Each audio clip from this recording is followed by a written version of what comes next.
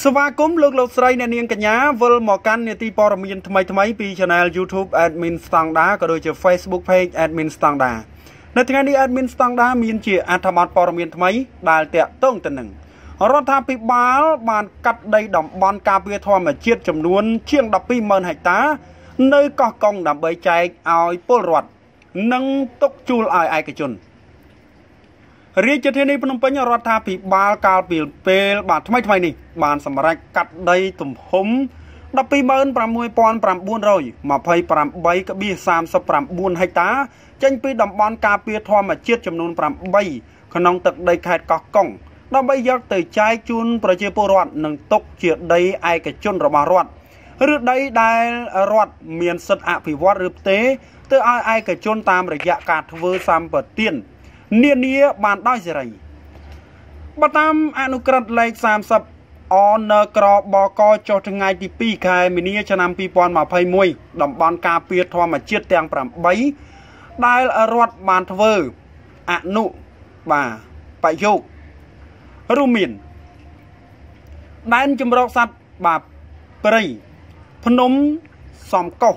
បាទកាត់ដី5000 159ហិកតាឧទ្យានជាតិជួរភ្នំក្រវាញខាងត្បូង កាត់ដីប្រមាណបាទ29059 ក្បៀស35ហិកតាឧទ្យានជាតិភ្នំក្រវាញកណ្ដាល កាត់ដីប្រមាណបាទ3375ក្បៀ81ហិកតា ដែនជំរកសត្វព្រៃតាតៃកាត់ដីប្រមាណ 26103.03ហិកតា ដែនជំរកសត្វព្រៃពីមក្រសោបបាទពីមក្រសោបកាត់ដីប្រមាណ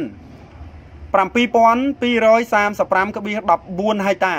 ឧឈានជាតិបតុមសាគរកាត់ដីប្រមាណ30064.51ហិកតា តំបន់ប្រើប្រាស់ច្រើនយ៉ាង ដងពេងកាត់ដីចំនួន10000 9651.29ហិកតា តំបន់របៀងអភិរក្សចម្រុះជួរភ្នំក្រវាញកាត់ដីប្រមាណ6280ក្បៀស26ហិកតា ប្រពន្ធដដែលបានឲ្យដឹងថាដីដែលបានធ្វើអនុបយោគខាងលើនេះនឹងត្រូវបោះបង្គោលកំណត់ព្រំដីត្រឹមត្រូវដើម្បីចុះបញ្ជីបែងចែកជូនប្រជាពលរដ្ឋ ដោយឡែកចំណែកនៅសល់នឹងត្រូវរក្សាទុកជាដីឯកជនរបស់រដ្ឋកាន់កាប់ដោយរដ្ឋបាលខេត្តកោះកុងពលគឺជាប្រយោជន៍សាធារណៈសម្រាប់ការអភិវឌ្ឍហេដ្ឋារចនាសម្ព័ន្ធរូបវ័ន្តនិងសង្គមគូសបញ្ជាក់ផងដែរថាខេត្តកោះកុងមានដីជាតំបន់ការពារធម្មជាតិជាង1លានហិកតា បាទជាប់ឈ្មោះល្បីជាឋានបាទអេកេណូ